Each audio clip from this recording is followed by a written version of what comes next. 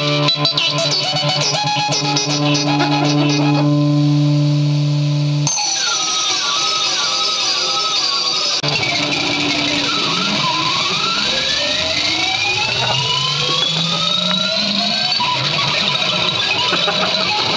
spaceship.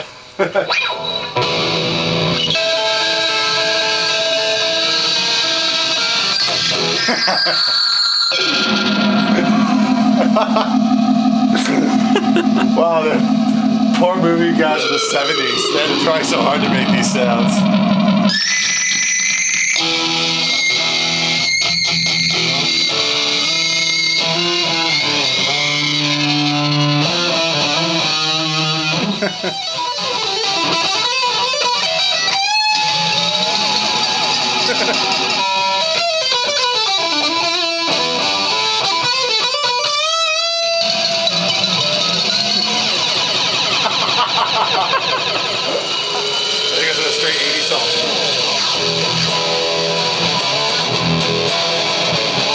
80s song. Still it sound. It's still gone.